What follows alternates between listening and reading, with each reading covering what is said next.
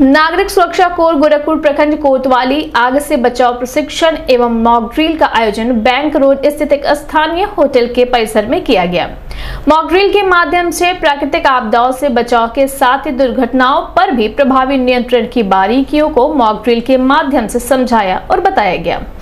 कैसे समय रहते, कम से कम जान माल की हानि हो सके, इस विषय पर भी प्रकाश डालते हुए मौजूद लोगों को जागरूक करने का कार्य किया गया। इस मौके पर डिविजनल वार्डन विकास जलान, उप नियंत्रक वेद प्रकाश यादव सहित बड़ी संख्या में नागरिक सुरक्षा कोर के वॉलंटियर मौजूद रहे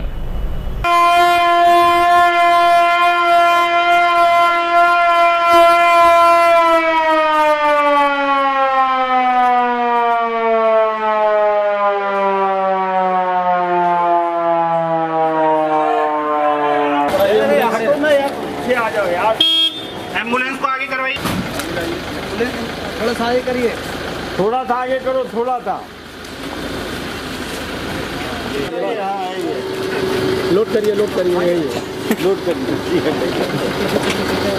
लोड करिए लोड करिए जल्दी खोलिए।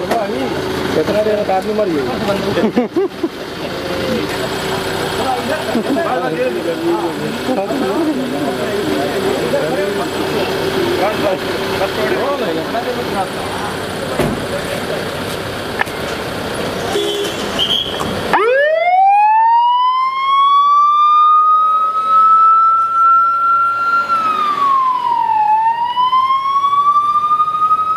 ए चुपचाप पीछे आवा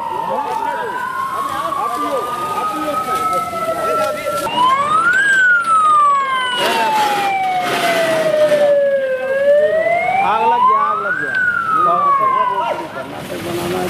पानी मारो पानी मारो जल्दी पानी मारो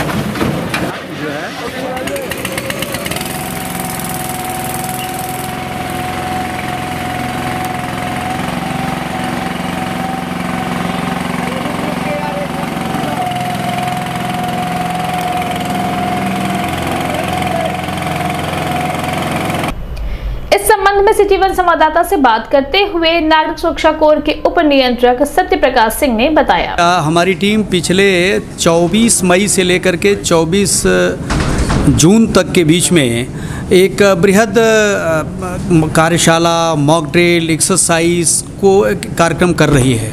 इसका उद्देश्य है कि जनता को ज़्यादा से ज़्यादा बताया जा सके कि छोटी मोटी आगों पर नियंत्रण कैसे प्राप्त किया जाता है और आप प्रत्येक दशा में आप अपने परिसर का या अपने घर का, जहाँ पर आप काम करते हैं, जहाँ पर आप जाते हैं तो अलर्ट रहें और आप प्रत्येक दशा में फायर को लेकर के चिंतित रहें, संवेदनशील रहें और अपने घर में ही ऑडिट करें कि हाँ क्या ऐसी चीज़ें हो सकती हैं जो आग एक बड़ी आग बन सकती है। इसको लेकर के हमारे शासन के निर्देशानुसार डायरेक्टरेट के हमारे निर्देशानुसार, जिला मजिस्ट्रेट के निर्देशानुसार ये कार्यक्रम प्रत्येक मोहल्लों में, प्रत्येक संस्थानों में, प्रत्येक बड़े बड़े होटल्स में मॉल्स में हमारी टीमें प्रशिक्षित कर रही है।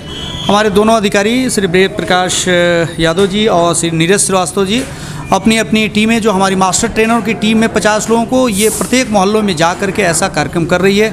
इसके साथ में हमारी जो फायर के टीम है, जो हमारे सीएफओ साहब की टीम है, वो प्रत्येक कार्यक्रमों में सहभागिता कर रही है और हम जनता को